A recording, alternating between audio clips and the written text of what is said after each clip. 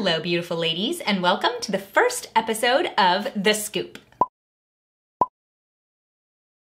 I have been thinking about creating a series on my channel called The Scoop. When I was in high school, we used to have morning announcements, and I used to get up in the mornings and I was in charge of announcing the school play, which I was in. And I would get up and I would make a small announcement. Well, over time, that turned into me giving small performances each morning to get people to attend the performances, and then it turned into something else entirely. My best friend at the time and I made something called The Scoop. We asked the administration, got permission, and each morning we would get up and we would give a fact and a tidbit, and we would call it Here's the Scoop. We're giving you guys the info for the day. And it would usually just be something random and funny. And it was our way of bringing a little bit of joy to our fellow classmates every morning. Well, now I'm bringing the scoop to you guys. I'm really excited to do something similar to the scoop with you because I'm not gonna be doing just the fact and the tidbit sort of thing, but I am planning on bringing you a little bit of joy each week where we can talk a little bit more casually than the other videos on my channel, where I can give you a few updates of things that I've seen, things I've been doing,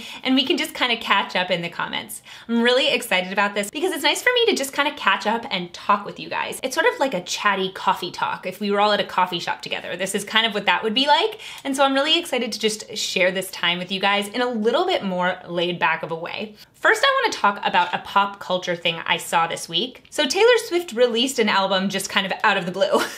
she decided to announce that her album was releasing at midnight and it was going to be a big event and she was also going to release one music video. So here's the thing with me and Taylor Swift. You guys probably know I used to be a big fan of hers. She kind of fell out of favor with me when she started becoming more and more of an SJW. I wasn't a huge fan of her music as it changed from country to pop anyways, but then when she started talking very openly about her politics and really alienating a big part of her fan base, I was just not interested in listening to her music anymore. So when I saw this was coming out, I was a little bit interested just because, oh, it kind of came out of the blue and how did she get all of this done during quarantine? But she did film this music video, which I watched. All I'm gonna say about the music video is that it was very pretty. I thought it was very beautiful to look at and the music was fine, it was okay, and it felt very cottage core to me. That's kind of a term I see floating around on the internet a lot, so it was kind of warm and inviting until you get to the middle part of the music video where she's uh, in the water and it seems like she might drown. Besides that, it was very pretty, and I'm curious to know what you guys think about Taylor Swift, if you were excited to see that she dropped a new album. Again, I'm not super excited about it. I might check it out and see if there are any tracks that I like, but the fact of the matter is she kind of alienated me a while back when I saw her documentary for Netflix called Miss Americana. I was not a big fan of that, and so I wasn't super interested in her new release. But it is something that's in the zeitgeist, so I am curious to know your guys' thoughts on that. Next up, let's talk about a news item. So there was a photo that went pretty viral of a naked woman sitting on the street showing off her body and uh, her nakedness to a group of police officers as a protest. And it was deemed iconic by many people.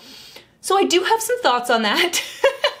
I don't know what nudity has to do with any of this. I mean, you can create a story about that, but honestly, it doesn't have to do with this. It's not useful. It's just kind of like, oh, look at me, look at what I did, and it'll make a great photo op. And my first thought when I looked at that photo was that I would think of that as sexual harassment. If a man were to do the same thing, sit on the ground and flash a group of police officers, it would be harassment. Of course, police officers know what they signed up for, so it's not necessarily a legal issue, but a man flashing people should be the same as a woman flashing people. And for the media to call this a really newsworthy item and it was incredibly iconic and she's making such a great statement, to me was not accurate.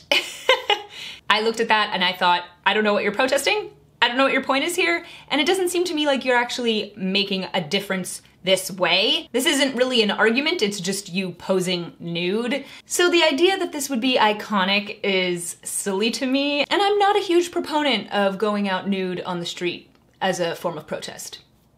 Maybe that's just me, but let me know in the comments what you guys think. So I also wanted to share some things I've been thinking about this week, just things that I've been learning and kind of sorting through. And I made this video about classic not being perfect, and I kind of wanted to share a little bit more about that story. So when I came to my husband, it was really because I felt like the housework had gotten away from me. And the reason that my housework has gotten away from me is because I have been putting in a lot more time with my work. I've been making four videos a week, I have been producing a ton of content, and it's just a big undertaking. And I've just been finding that my time for housework and just even spending time with my husband has gotten a lot less. And it is something that we're constantly talking about, right? This work life balance thing that feels so difficult. And I've had this issue before, so it's not like it's a big surprise, but it is something that I feel like is gonna just constantly be coming up. And it's something that I think as a community of women we can talk about because I know that I would love to have that really good work life balance. It's really important to me, and it's something that I also said in a video about success for women is that work life balance, is finding out what does work and making time for the things that you care about. So it's an interesting thing that I'm starting to experience that now because I know I want to spend time with my husband. I know I want to get the housework done. I'm one of those people, let me know in the comments if you're like this. I have a hard time having mental brain space if my house is cluttered. If the house is cluttered, it feels like my mind is cluttered. And so I really like keeping the house clean. So when the housework gets away from me, it actually really does bother me. It's something that kind of gets in my way and I feel like I've let myself down and then I'm just not as productive. And so it is something that I've been trying to work on, this balance of the things that I am working on and then the lifestyle that I want to have. And I know it's only going to get more intense at the time that my husband and I do decide to have children. So I'm sure this is only a tiny little sliver of what it's going to look like in the future.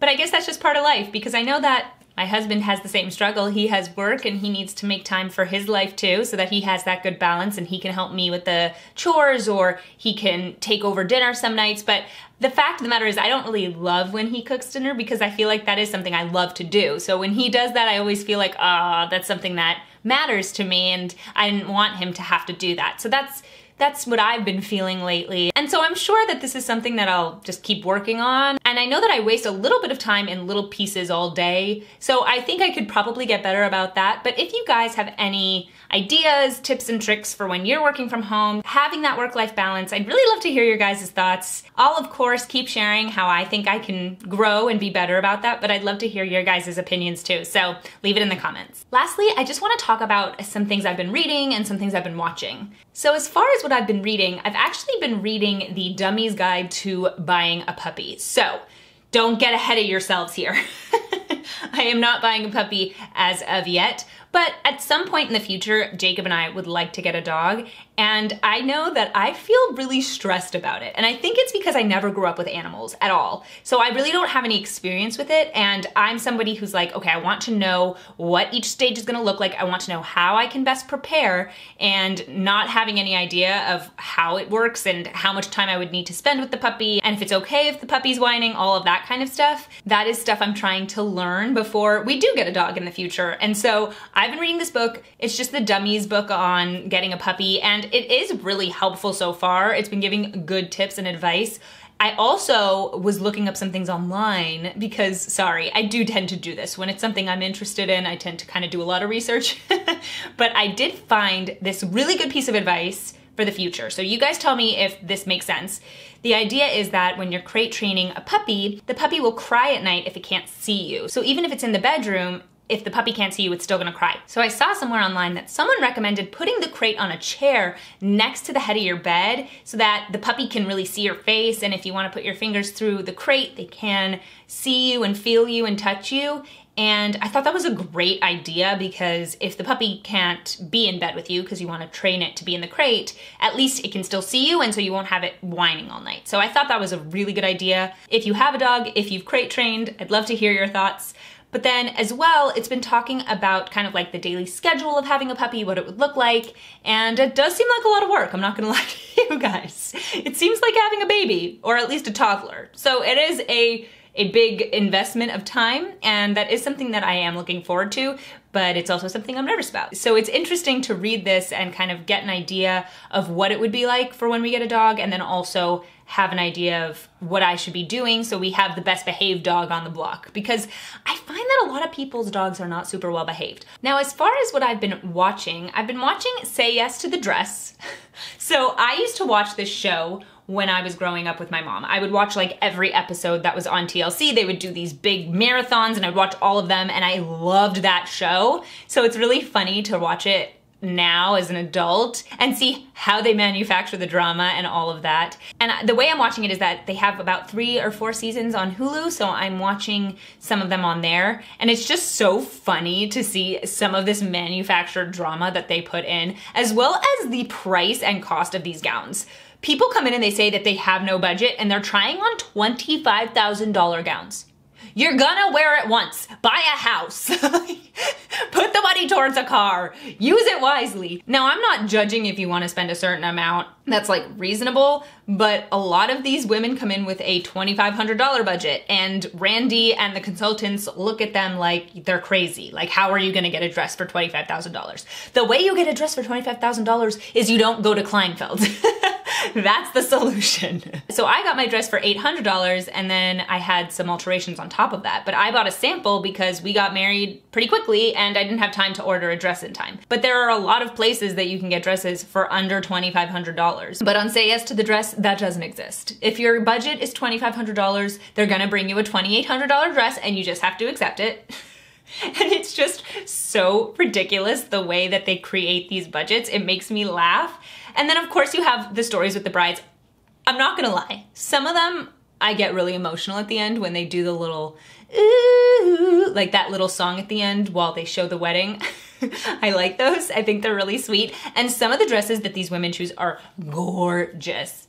But some of them are not. And I'm very surprised. I look at some of those dresses and I think to myself, no, no, no. I would never ever choose that. And some of it is because I just don't like the style of the dress. I have kind of a specific taste when it comes to wedding dresses. But a lot of it is also that these wedding dresses are really immodest. It's like your wedding day. Everyone you know and love and respect is gonna be there, and you're wearing a dress that's showing everything. On your wedding day, it's not supposed to be about how sexy you look, it's supposed to be how beautiful you look for your husband, for the person you're about to marry. And it's just always funny that these women come in and they're like, I wanna look like a sex bomb.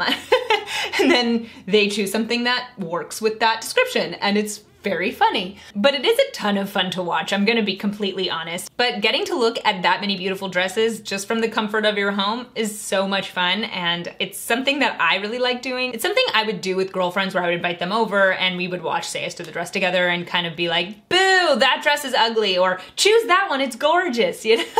Another thing that I have watched this past week was Braveheart. I watched the movie Braveheart with my husband. I'd never seen it before and I'm not gonna lie to you, the thing that upset me about Braveheart is how historically inaccurate it is.